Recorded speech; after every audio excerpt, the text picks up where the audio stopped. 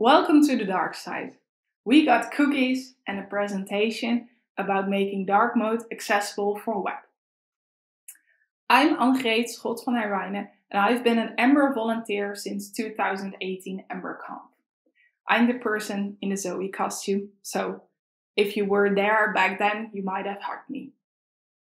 I've given lightning talks at Emberfest and talks at EmberConf before. I married Nick Schot in August, making my name even longer and more complicated for everybody outside of the Netherlands. And I work in Groenlo at Nedap, uh, a company that does a lot of things. And I work there as a team coach where I help teams communicate and collaborate. You can find me all over social media on Instagram, Twitter, GitHub, and of course on the Ember Discord. Let's get back on topic making dark mode accessible for web. First, we're going to talk about how to make it accessible for you as a developer to implement the preferences for dark modes or light modes within your website. Secondly, we're going to talk about how to make it accessible for the user who's actually looking at your web page. When we're talking about dark mode and light mode, the first thing that comes into mind for developers is editors. Here we see an example of the light mode and dark mode themes from Visual Studio Code. CSS Tricks did a poll to check what the preferences of developers actually are, and they found out that 37% of the, their respondents actually prefers light mode over dark mode. So it's actually a matter of taste, and maybe it differs from situation to situation. But what about the web? Luckily, in the web, we can also cater to the preferences of our users. And I did so during Hacktoberfest 2021 for two Ember projects. And I want to take you through how I did it for both of them. The first project is the A11Y Automation Tracker by Mel Sumner. You can see it here. It has a great list of all potential accessibility violations that we might run into later. And now you can also look at it in a dark mode. The background got dark gray and we changed the purplish accent color to be yellow. The violations page with a ton of rows and columns and stat status uh, well, status indications is now dark gray, alternating rows with darker colors to make sure that the contrast of the status indications still adheres to the WCAG standards. The second project that I did was the Lint to the Future dashboard that Chris already talked about today. He told you how it works, I'm just here to talk about the design. We changed the light green and the uh, white cards to a dark blue and a lighter blue for the cards to match the blue of the buttons that was already there we actually did these two using media queries in our CSS files. So we're not even bothered with JavaScript at this point. A media query is the part of your CSS file that starts with add media, followed by sometimes a little and sometimes a lot. The first part of a media query is the media type. There are three types. There is all, print, and screen. All makes it explicit that it will apply always. Print will make sure that it only applies when a user is printing it. And screen will make sure that it only applies when it's uh, watched on a screen. So for dark mode, we're going to use screen because when a user prints your dark themed page, it probably doesn't want to print a whole black page with some white letters in it. The second part of a media query is the media feature. And there are a ton of them. They might look at the orientation of your device, they might look at the width of your device, but today we're going to look at the media queries concerning preferences. Because they're there and they allow you to check what preferences your user has. We're going to look at prefers color scheme. This allows you to detect if the user prefers a light or a dark color scheme, where light is the default. It will look like this if you actually want to listen to the uh, dark preference. Add media screen and, to make sure that we use them both, prefers color scheme dark. Time to insert your CSS. But before we do that, let's look at how browsers support this, and luckily it's a lot. This is the users relative, so we see that most of our users will probably be able to actually use this feature the way we intend to. When we're looking at the Lint to the Future dashboard, we're looking at a normal CSS project. This project uh, will has a normal CSS file where we inject the add media prefers color scheme dark. We're going to change the body color to be the dark blue and make the text all white. The second thing we do is change the color of the link to be yellow to make sure that the contrast between the blue and the yellow is great enough, where the green wouldn't have done that. We're changing the background color of the chart, and here we're running into the first real problem where we can hardly read any of the axis labels anymore. So we're also making those white. The axis labels are SVG, so that's why we use fill white. And we need to actually override them, so that's why the importance is there. You probably don't really need that that often. If you want to do this in your own CSS project, you probably start out with a root with CSS variables in it. So we have two color CSS variables and then we have the border radius. We're gonna use those variables to describe the background color of our body and the back and the color of our text. The next thing we're doing is creating the media query for the dark color scheme preferences and changing the background color to a really dark gray and the background text or the text color to a white. What we could do to even clean it up more is move all the color variables into two distinct preferences, preferred color schemes. So we're moving the default ones to light and the, uh, the dark ones to dark. This way you always know where your colors are. So they're always where they're supposed to be in the color scheme preference. For the A11Y automation tracker, it works a bit different.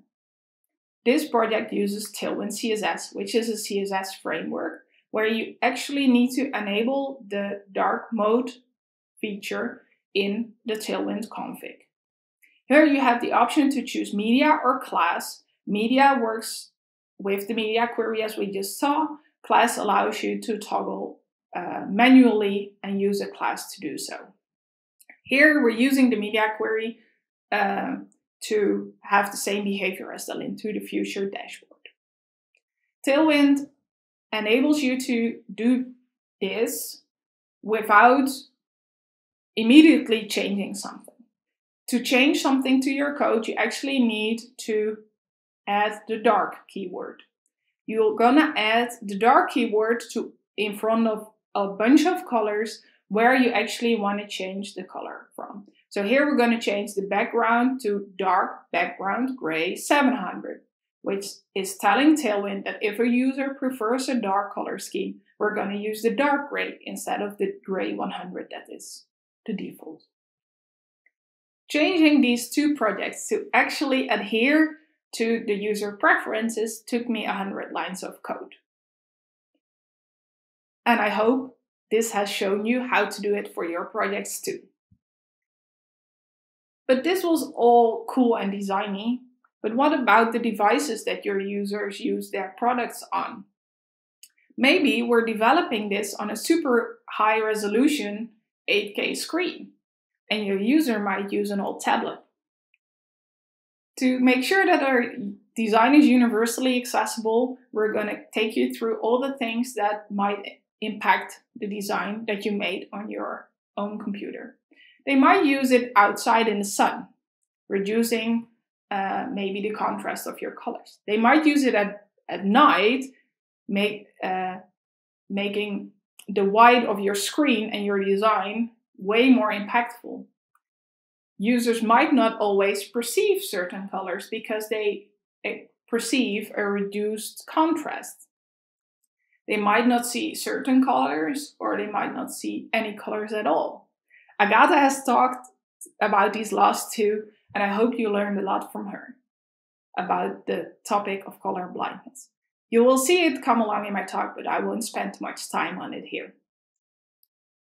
When we're thinking about how people access the data uh, that our web app is providing, we're talking about the accessibility, often abbreviated to A11 and Y on the web. And today I want to talk to you about colors. Colors are what makes a dark color scheme, a color, dark color scheme. And uh, here I want to show you what happens if we mix colors. So here we're mixing paint. We're taking the primary colors, red, blue, and green, uh, red, blue, and yellow, and we're actually mixing green, orange, and purple. When we mix them all together, we get brown.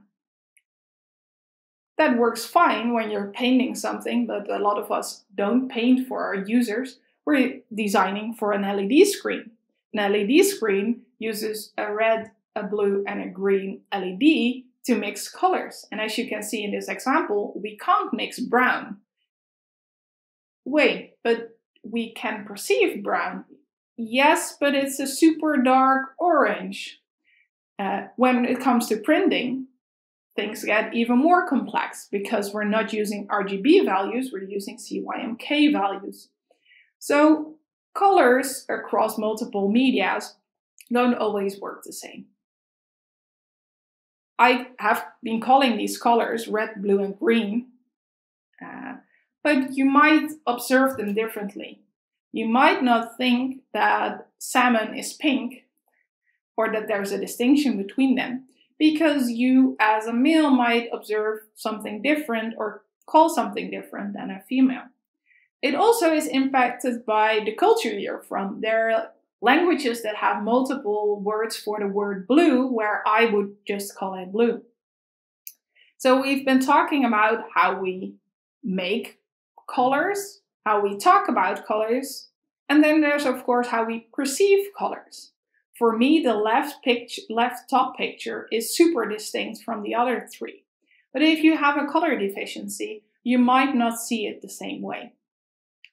Luckily, there are guidelines that tell us what we should do to make our website as accessible as possible. And there are tools out there to help you do so. So, the Web Content Accessibility Guidelines talk about contrast. When they talk about contrast, they're talking about a ratio. So, the ratio from the darker color to the lighter color. And they have defined what ratio it should adhere to. There's a lot of math behind it, where you can use relative luminance of one to relative luminance of the other and calculate it. I don't do that much math on my day to day basis, so there are things like the WebAIM contrast checker that allow you to put in the hex value of your color, foreground and background, and see what the contrast ratio is. It also allows you to adjust your color to see when it passes. Be aware that this number is a mathematical number, which probably doesn't mean that it works on each screen the same. So if you're scooting it super close to the uh, accessibility guidelines cutoff point, you're probably not making it accessible across all screens and devices. Firefox allows you to hover over a color and it will show you whether or not you passed the color contrast check when we go back to the contrast checker, I've chosen two colors and I've not picked them at random. I've chosen a super dark blue and a pink. And I'm specifically saying these names for the color, for the foreground and the background, because when we emulate that a user doesn't see any red, it changes to a dark blue with a blue background. At least for me, it has changed. But contrast checker did not update.